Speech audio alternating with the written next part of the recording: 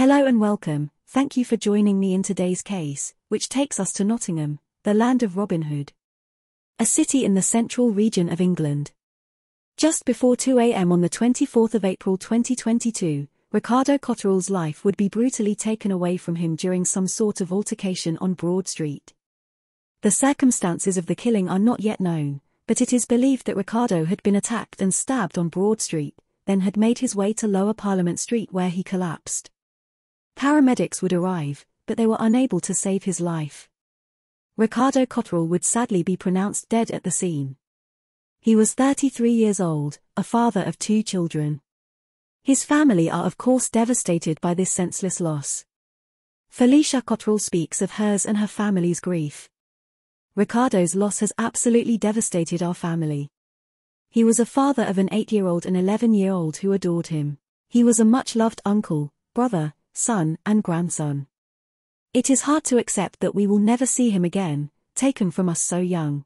Ricardo always had a smile on his face and was a loving person and would do anything for his family and friends.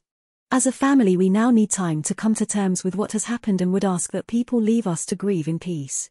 It didn't take police long to make their first arrest and on the 24th of April 2022, Igel Lavelle Moore, aged 30 would be arrested and held for questioning. Moore has previously spent time in prison for other offences, and even spent time in prison for a crime he didn't commit. A few days later Wade Smith aged 36 and Daniel Francis aged 26 would also be arrested and held for questioning. All three would later be charged with murder. They appeared at Mansfield Magistrates Court on April 29, 2022.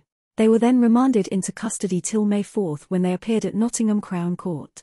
No application for bail was made and a provisional trial date has been set for the 14th of November 2022.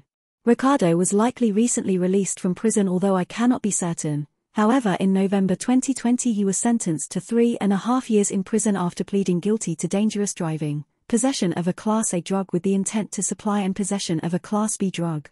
Normally he would do roughly half of that sentence which would bring us to around nowish, especially if he spent time on remand before being sentenced. Although it is pure speculation, his release date, I thought it was worth mentioning. It's possible his freedom was stolen away from him literally when he just got it back. The beginning of May saw a fourth arrest, 24-year-old Richard Anderson, who has more than 17 previous convictions. He has also served time in prison, to which he had the time extended due to assault and threats to kill. He too would go on to be charged and remanded into custody. He appeared at Nottingham Magistrates Court on the 4th of May. He will appear at Crown Court at a later date. A 21-year-old female was arrested on suspicion of assisting an offender. She has been released on bail. My thoughts are with Ricardo's family and friends at this tragic time. May he rest in peace.